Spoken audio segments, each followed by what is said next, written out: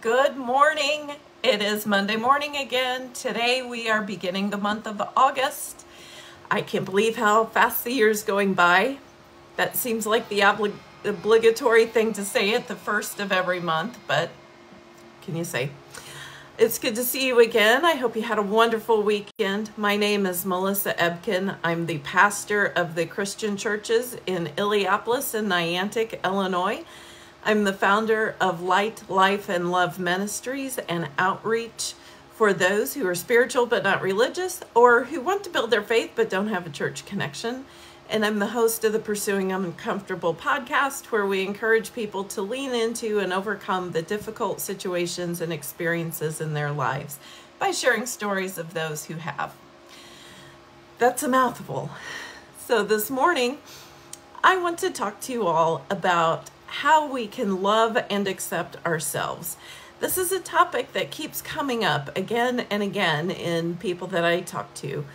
I, as many as as many of you know, I did Bible studies at the county jail for a while, and this one topic was the common denominator in every woman that I met there that they had been told over and over and over again in words and actions and however, that they didn't matter, that they were damaged, that they were not good enough in one way, shape, or form.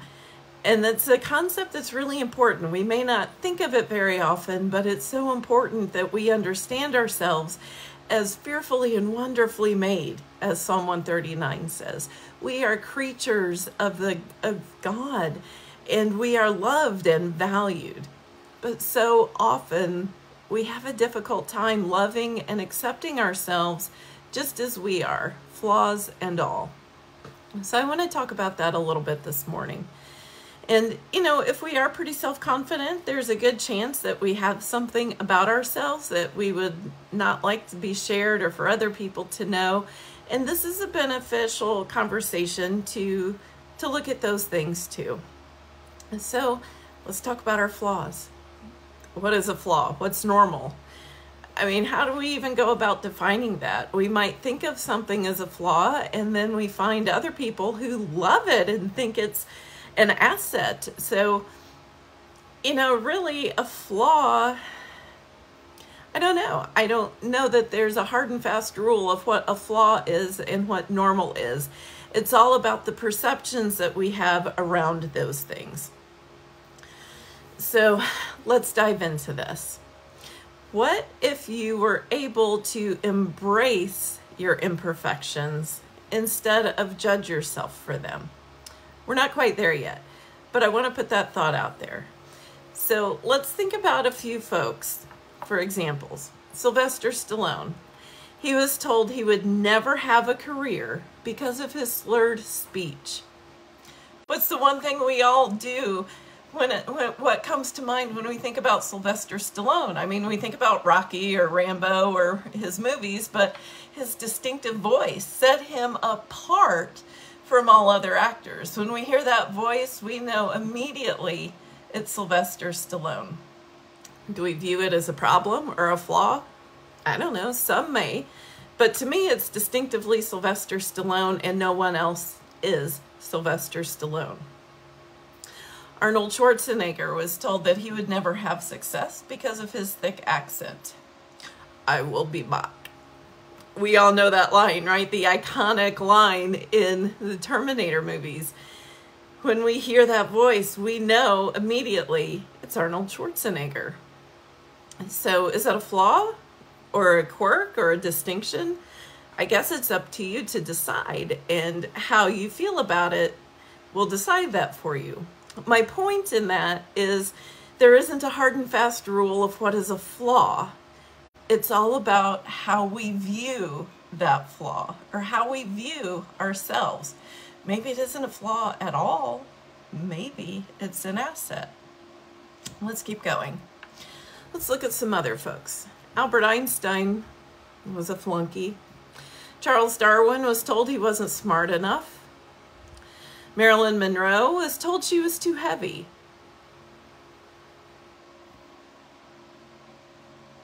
Maybe by some people's standards, but when it comes to an icon of beauty, she's at the top of the list.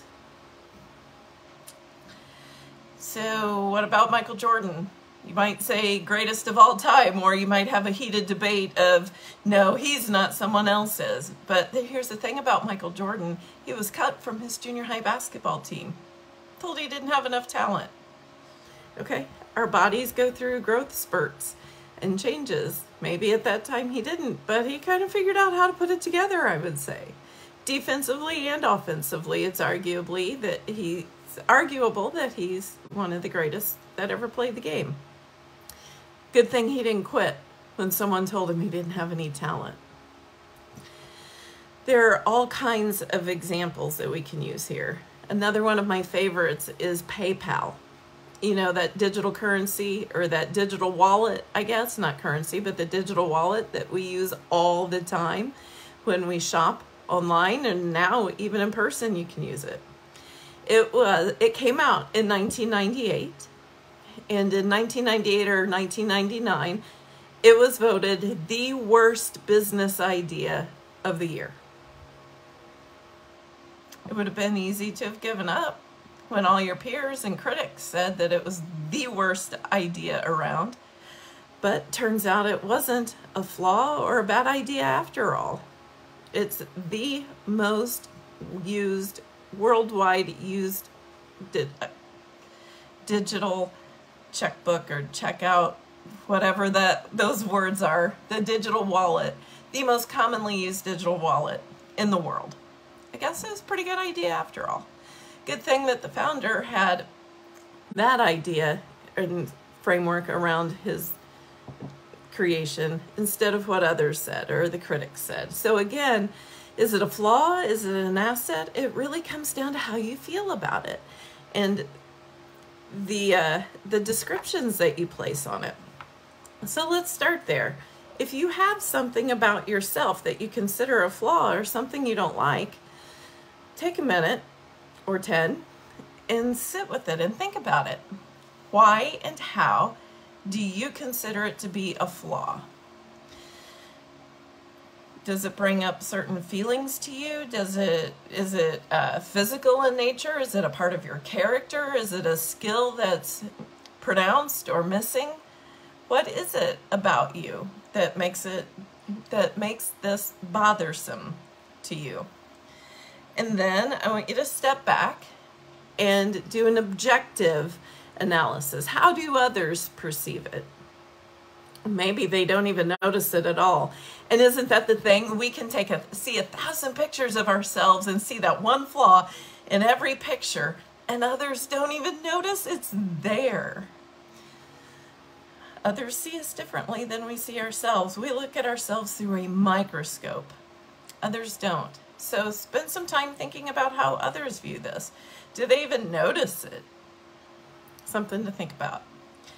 And then reframe and reassign your thoughts and feelings about it.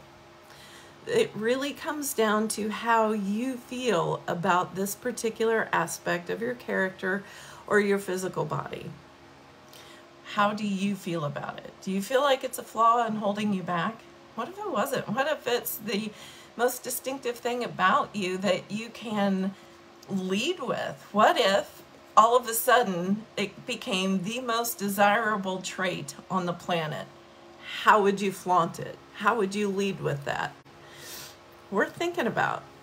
When I was a kid, every year at Christmas, or 1st of December, Rudolph the Red-Nosed Reindeer would come out on TV. I loved that movie. Although it was a very emotional experience for me to watch that movie. My heart broke when Dennis the, was it Dennis? The elf, the elf that wanted to be a dentist. Don't recall his name offhand. I'm thinking Dennis, but maybe I'm just getting that from dentist. But regardless, he wanted to be a dentist, not an elf. He was cast out. Rudolph obviously had a red nose. The other reindeer didn't. He was cast out. They were deemed misfits, and my heart broke for them. My favorite part of that show is seems to be a part that many people don't even recall being in the movie, but when they are running away they come upon this island of misfit toys. And this island of misfit toys is filled with just that toys that were deemed flawed or weren't like all the other toys. And they found a home there. It they like a doll or a jack in the box. It wasn't named Jack. You know, who wants a, a Jim in the box or whatever his name was. You know, all of the toys there had a perceived flaw about themselves. So Rudolph and the elf, they found some sanctuary there for a time. Ultimately, when they came back and realized that their quirks weren't flaws, but it made them unique and made them valuable. And my favorite part of this show was when Santa found the exact right home for each of those toys on the island of the Misfit Toys. It turns out that because of their distinct nature, each toy was specifically suited for a child that a regular, whatever that means, toy wouldn't work for.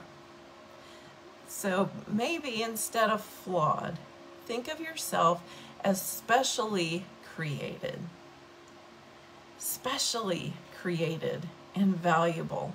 There's only one of you in this world. We're not robots running a program. God, what a boring world that would be. We are fearfully and wonderfully made, each of us, and we each have value. In um, First Peter in the New Testament, there's uh, this passage about where Jesus, it's a metaphor using stones about Jesus, about how it was a stone that was cast out by the builders, turns out to be the cornerstone. And that's a metaphor for Jesus, who was cast out by the religious leaders, turns out to be the foundation of faith. But I want to talk about those stones for a little bit. When, if you talk to a brick mason, they will tell you that you can tap on a brick and tell its quality. There are some that have a distinct sound, a little clink, instead of a whatever sound it's supposed to have. And those are called clinker bricks and they're set aside. And it turns out in this metaphor that those clinker bricks are the ones that become capstones. Just like Jesus was the one cast aside. He was different. He didn't play by the rules. He did all of these things differently and he was the foundation of faith. Just so, just as you who have your, what you perceive as flaws or quirks or differences, maybe it's the foundation of something else. If you can reframe how you view that quality about yourself, it just may be the thing that makes you specially valuable and unique in this world. So embrace that about yourself. And, you know, there's power in that. There's power in claiming who you are, warts and all, as the saying goes.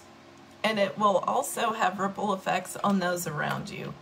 When you are able to accept what you perceive as flaws or insecurities or what have you, others around you will feel safe with their own as well. So that's my thoughts for you today. Don't don't criticize yourself for what you perceive to be things that are less than. Own them. If it's something about you that you need to grow, then do it. If it's something about you that you need to let go of, then let go of it. But know this you are fearfully and wonderfully made. You are valued and loved. That's it for today. I'll see you again next week. Bye for now.